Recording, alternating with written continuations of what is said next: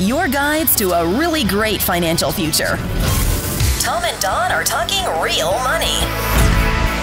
Well, look at this. Look at us. It's another exciting edition of Talking Real Money slash Sound Investing, the podcast and video cast, all purpose cast, all for you. And I'm Don McDonald, and I am always thrilled to uh, spend some time with good friends Paul mm. Merriman. Oh, hey, good to be here. But I just realized I don't yeah. have the spotlight on me here. Got to have that spotlight. Oh, yeah, no, he's got to have. Is, oh, now it, I look so oh, good. Yeah, yeah, there we yeah, go. Yeah. And then you need a little gobo in the background with a little scenic thing going. Uh, and, much younger now, though. And then over here, over here on this other screen is uh, my good friend Tom Cock from the Vestory offices in in Seattle, Bellevue. Hello. Yeah, and I'm glad to see in retirement that you and I we're not in retirement. Paul is. He can't afford headphones we're still working. We can apparently afford to buy them. No, so I, I left him. In, I left him in Oregon. I'm sorry. I'll, oh, if I'll, I had a nickel for every time, anyway. left him. All right. Hi, everybody. Um, we talk about money on this because you think so. Talking real money and sound investing; those are all money-oriented words. And uh, one of the big money issues that we like to discuss is investing. And one of the biggest areas in which everybody on the planet now invests is the stock market. Stocks, individual stocks. Now, before we go any further into this, we just really I want real quickly to give all the the newbies a bit of a primer on what we talk about when we're talking about stocks and the stock market, Tom. You're asking me or you're telling me? Um, I'm, I'm, I'm telling you to tell us. we're asking oh, you to to explain. By the way, he gave me what no warning stocks? that this was coming. Um, stocks. I'm happy to help you, Tom, if you can't figure it out. investment in companies. All right, this is this is not working out. We're just going to stop because Tom doesn't know his investment in companies. If it's not scripted, he's in trouble. I think what he's getting to is though that when we say stocks, oftentimes people think we're saying go decide whether to buy a stock, which yeah, and, one at and the, the time. Stock, I mean, yeah. it's ownership. It's ownership of companies, Correct. and therefore it's been um, a, a, a, way to make it has in the past, Paul, made decent money. Well, yeah, I mean, we they the academics have gone back and pulled out the pricing of every stock that's been public going back to the 20s, 1920s, and uh, the S&P 500 has grown as a as an index, as a group, at about 10% a year. Now that's the good news. The bad news is about half of the companies that were public didn't do well. As a matter of fact, they didn't make any money. Many went bankrupt, and many, by the time that the, the stock went away, they had not made any real money for the public. But the other half made it all worthwhile, which is, by the way, one of the reasons we don't want people trying to pick individual stocks is one at a time, they are really very risky. But as a group, historically, they are not. Short term, yes, always as a group, but long term, not. Well, but but as a group though, that group over the past 90 years or however many years, uh, well, I guess the S&P is since the 70s, but over that period, that group of stocks has changed dramatically. Different companies come and go and move in and out and every which way, and yet it still makes money, Tom? It has. Um, and by the way, Paul, why don't we just only buy the 50% that go up? I don't want to own the other ones. I mean, what's the point well, of all that? It's even better. That's what makes that, us so much fun to watch. Yeah, it's better than that. If it's four percent of the companies, one out of twenty-five, are the ones that have really driven the return. The other ninety-six percent have averaged about three percent. So, uh, uh, Paul, Paul, what which which are those stocks going it's, it's forward? Tesla in the That's last ten the, years. I know that much. no, no, I need to know. Go, I don't care about well, past. I oh, want to know going next, forward. The next. Let me tell you, from, I'm taking notes. Go ahead. I'm going to make it easy for you because I can look backwards and see one of the most profitable companies ever was General yeah. Motors. So you got to have General Motors in your portfolio. Ouch. Oh, wait, didn't they go bankrupt? That didn't work out. Yeah, they well. did. You see, that's the problem. Sears Roebuck, another big winner. Hmm. Well, that's no good. Enron, you've WorldCom, not helped, you've, Washington you've Mutual. been of no help whatsoever. Well, can we You've, recover somehow from this? All right, let's disaster? recover somehow. Because eh, if we're talking about stocks, we're saying stocks have in the past made money and good money. Why don't I just buy some really good stocks and hang on to them? Well, we're talking about managing risk. And what we know is the expected rate of return of any single individual large cap growth company is the same rate of return as all of those large companies. Now, of course, some will do better, eh, but some will do worse, and we don't know ahead of time. And so the beauty is in owning the whole, the index, all of those stocks. It gives you a chance to get that market return without the risk of putting all your money in Enron, which, if you've forgotten, a lot of people did and lost it all. Yeah, then there was that one Tom loves to talk about. What was the name of that one? It was a rather large Washington trust bank based Mutual? here in Seattle. Yeah. Ah, that one. Yeah. Washington. Well, Mutual? then Tom, okay. Paul's if Paul is correct, which I think he is, I've looked at the numbers. So the index, you own the index, you just kind of get the the whole thing and it's been a pretty good number why don't I just own the S and P 500? In as opposed to be a global portfolio. To, or, or S and P 500, or, or, or owning those stupid bonds oh, or now let's get or, to the, we're getting to the gist of the matter here because yeah, if if it's all about just making money over the long haul, you've made far more being in stocks than in bonds. I, and you can correct me, Paul, if I'm wrong here, but I think stocks, as you said, are about ten bonds over the long haul have been somewhere between four and five, still better than right. Other asset classes, but not nearly as good. You're correct. And by the way, when people ask me, I say that's fine, but let me give you my reasons that I don't think that's a good idea over the long haul, right? Okay, first of all, you, if you're going to have it all in stocks, need to be prepared for a loss along the way of about 50% of your portfolio. Mm. And most people, they can't take that sort of the day to day down, down, down, down, down. They're going to bail out. They're going to move to bonds. They're going to move to cash. They're going to do something. So that's number one. Number two, here's one I, I just thought of last night. Bonds, because they truly are an IOU, right? There's uh, there's an obligation there that you don't get with stocks. That's a different type of security than stocks. So you're really diversifying if you own stocks and bonds between different types of securities mm-hmm. there that I think could could help you. Um, so it's diversification. And by the way, Paul knows this well. There are periods of time when bonds actually out, do outperform stocks. I think last March there were people saying, "Hey, look back over the last like ten or twelve years, bonds have done better than stocks." It was mm-hmm. a short window after stocks had gone down dramatically last spring, but there are periods of time where they they they've outperformed. But here's the reason I think anyone near or close to retirement should own them. They should provide a stable base to draw from when you're in retirement, a, a, a pool of money, if you will, while the stocks are doing this, da, da, da, up and down and up and down and up and down, maybe down after you retire. And so then you have the stable pool that you can draw from without worrying about really pulling, you're drawing too much from things that have gone down recently. So, so the argument is to have more diversification.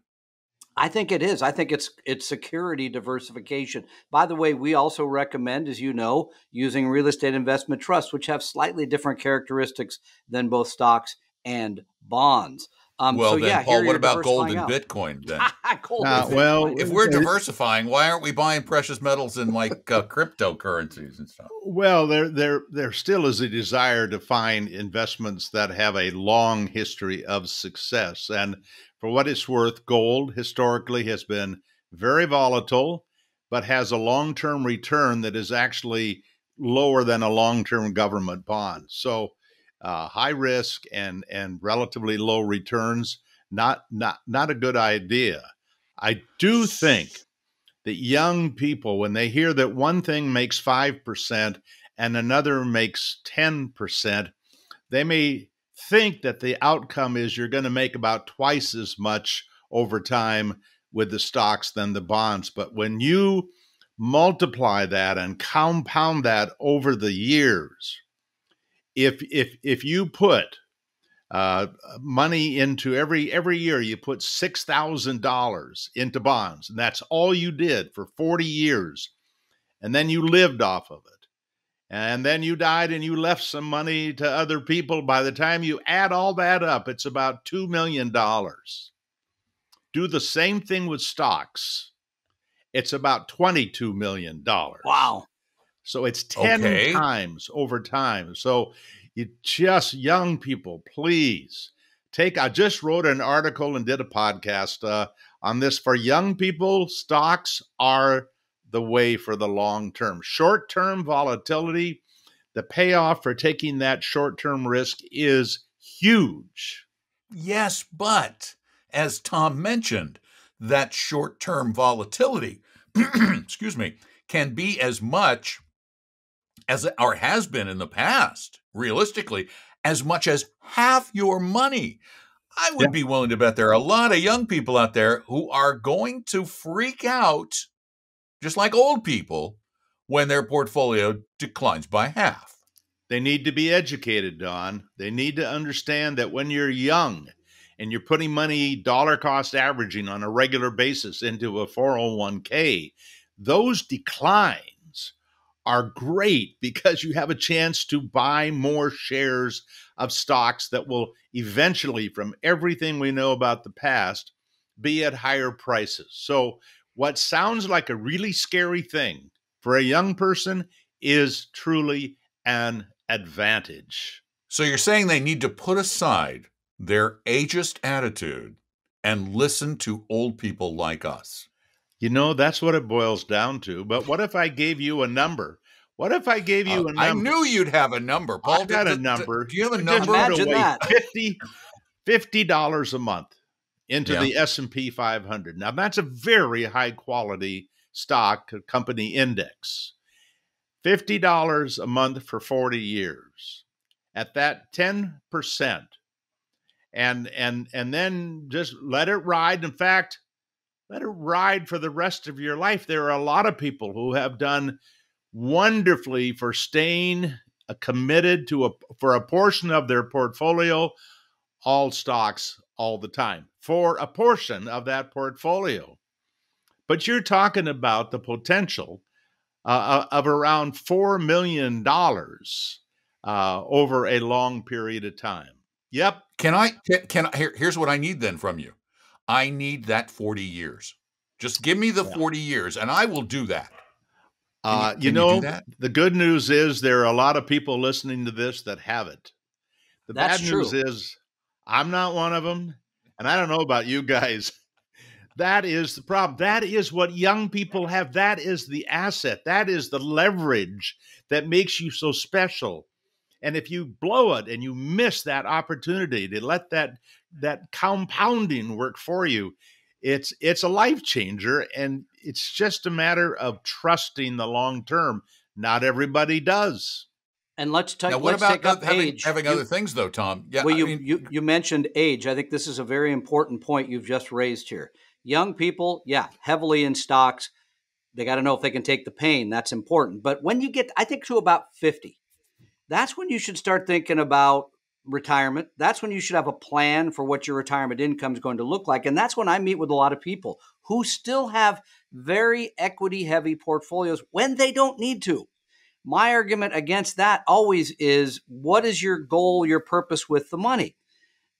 You're never going to be the richest person in the world because there's a guy named Jeff Bezos that last week, even after the divorce, was worth 214 billion with a B dollars. It's a lot of money. So set that aside. Then in my world, it's how much money you need to grow, grow it to sustain your lifestyle. And then if you're lucky, you leave something to others. But really it is about that. So then you get into the, as I said before, this trade off between return and stability, or as you would say, risk aversion. That I think for people after 50 is very, very important. Yes, for young people, pile it all into stocks. Hopefully, do it in Roths, for example. I just met with a, a, mm-hmm. a young man yesterday who's, even though he's in a fairly high tax bracket, is putting his whole 401k and his wife's 401k into Roth 401k, all in stocks. Boom, he's going to have a home run, I think, here in about 30 years. He'll have to stick out some tough markets, as you point out. But yeah, for I think there is that kind of that dividing line between 50 and 60 when you really do start thinking about risk aversion rather than just making as much as you possibly can. Well, we talked a lot about the S&P 500, but isn't that still too limiting, Paul? Particularly for younger people. You, you know that for some people, absolutely. As a matter of fact, I would want them to add some small cap value to the portfolio. Uh, in this study that we just did, we used only the S&P 500 because it's something people have a sense of trust about. And and uh, uh, and by the way, I did make a mistake. I said fifty dollars a month would take you to four million that assumed they were working at a company that matched that fifty dollars oh, a month. I'm sorry. I'm sorry. I'm coming clean. I'm coming so clean. It's a hundred for you for the match. It's hundred dollars a month to end up with four. All right. Yeah. Okay. All right. So, but but you know the the the bottom line is that we want people to get started as soon as and early as they can, and we don't, particularly with the inexperienced. If you stick with the S and P 500, the beauty is you'll see the list of the top 50 companies and you'll say ah yeah those are companies there's uh, uh, there's microsoft and there's all, of the amazons and the facebooks and and a lot of other big uh, oil companies and drug companies. The giants the giants. And yet even those giants make a phenomenal long-term return. Well then tom to, to kind of end this the thought about owning all stocks in your portfolio like everything else, there's not an absolute answer. There are times when you should own all stocks in your portfolio, and other times when you shouldn't. That's basically the answer. It depends. It does depend. It depends both on in terms of how long until you need the money. It depends on your emotional makeup about money because you don't want to have an all stock portfolio and then find out you can't take the pain of it going down by 30 or 40 percent. Um, so that's an aspect of it. And then, as I said, really for people, those really old people like us in their 60s, uh, and older, it really should be about your plan because you your so plan nice dictates that. I know because I, I bring him back into the group. Uh, it's about the plan and it's about how much you need to make, in my mind, rather than how much you want to make. We all want to make more, but when you get a little older, sometimes it's more about keeping that money rather than shooting for the moon. I'll put it that way. And we're going to continue to try to help you both make more and keep more on this and future podcasts. We also invite you to listen to both of our podcasts. Paul's is called Sound Investing. Hmm. Ours is called Talking Real Money. They're on all your favorite podcast services. If you want more information on the things that we do and our teachings, go to talkingrealmoney.com. For Paul's nonprofit educational foundation, you just need to go to paulmerriman.com. And there, I believe you can even get a free copy of his book. Absolutely. We're talking millions, 12 simple ways to supercharge your retirement absolutely free. Such a deal. Great read. Thank you, gentlemen. Thank you. Always a pleasure. Have a great week or end or whatever. Thank you all for enjoying our, our little get together. We hope you enjoyed it. And again, keep watching, keep listening. And uh, we're just hanging out here talking about money with you. Thanks for being there. We hope you realize that the information provided on Talking Real Money is for educational and hopefully enjoyable purposes only. Providing personalized financial planning or investing advice takes time, so please consult with a really good fee only fiduciary investment, tax, or legal advisor. We know a good one. Investing must always involve risk. In other words, you can and probably will lose money at times. Also, as much as you want it, no one can accurately, consistently predict. So, past performance doesn't tell you a darn thing about what the future will bring. Unlike many other programs that say something similar, Talking Real Money is not trying to get you to buy or sell any financial products or securities. Instead, the program is provided as a public service by Vestory, a fee-only registered investment advisor. Thanks for listening, and please visit TalkingRealMoney.com for more information and disclosures. Are we done now?